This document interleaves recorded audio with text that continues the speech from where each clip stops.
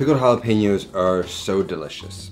It goes on a lot of dishes that I've served in the past, uh, including like the huevos rancheros, my nachos, my chili, and in honor of Cinco de Mayo, I'm gonna show you how to make them. So let's just jump right into it. I'm gonna put these off to the side. This is the goal we're going for. I'm gonna show you how we got there with these ingredients. So we've got four large jalapenos. So this should probably be enough to fill a one pint uh, pickling jar, which is what I have here. And I like to make just small batches because I don't really use a ton of this stuff all the time and it's just kind of nice to have a smaller thing that you won't waste and you'll use all of. So that's sort of why I use a pint. We've got our carrots, which I think besides adding color and great flavor and a little bit of sweetness, they sort of suck up some of the spiciness from the jalapenos. Whether that's true or not, I'm not completely sure, but all of my favorite Mexican places add the, the carrot. I like carrots, I'm adding it, it looks nice.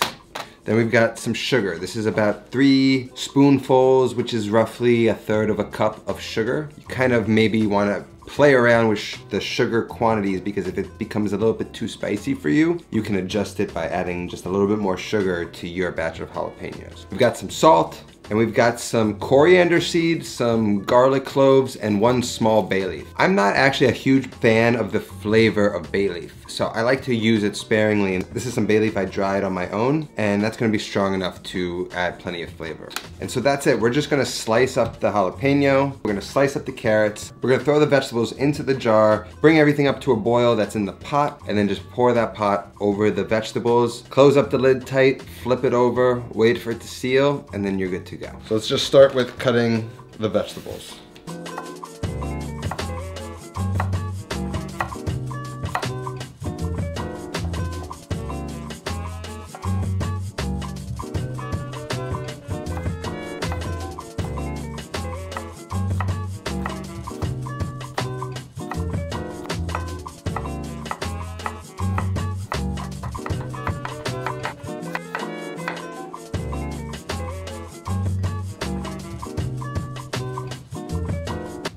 So now we can adjust the pickling liquid.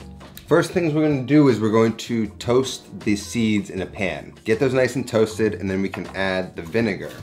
And we're going to add about three quarters of a cup of white vinegar. Then I'm gonna add about a half cup of water. I'm just gonna take some garlic smash it to kind of just release some juices. Maybe I'll toast that too beforehand with the spices. And now let's just go over to the stove and bring this all up to a boil.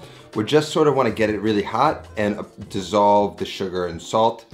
And then we're done. We're gonna pour that straight into our glass pickling jar. So let's just head on over. Get the pan on medium-high heat and toast the coriander and garlic.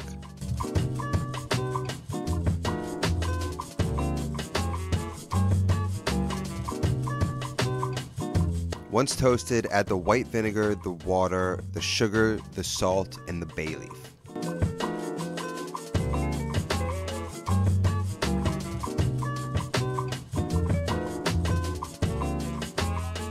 Bring that mixture up to a boil.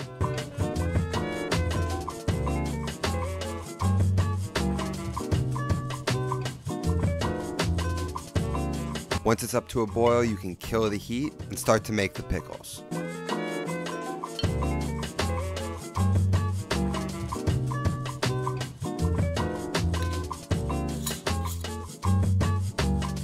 So now we have it tightly sealed, it's hot.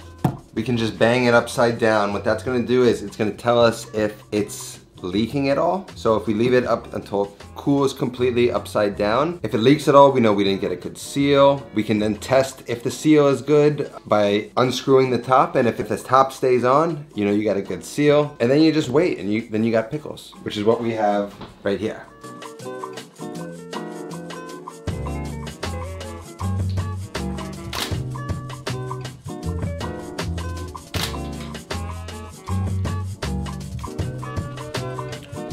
So you keep these guys upside down overnight and they turn into these guys. Give them at least a day and then you can either eat them right away or keep them going. The longer they kind of sit in this, the better they become in my opinion, but it's up to you. I'm gonna put this on my counter, let it fully cool before I throw it in the refrigerator or leave it in a really cool, dark place. This is going to my refrigerator and uh, I'm gonna start to use it on whatever I want. So if you wanna celebrate Cinco de Mayo the right way, you better make yourself some pickled jalapenos.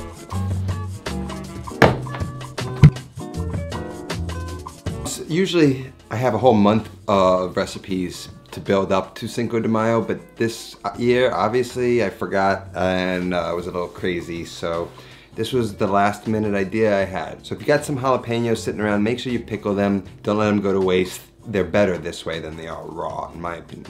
Thanks to all my patrons scrolling up on the screen right now. Thanks to everybody who watches and supports me. That's all that I have today. I'll see you next time. Until then, take care of yourself and go feed yourself.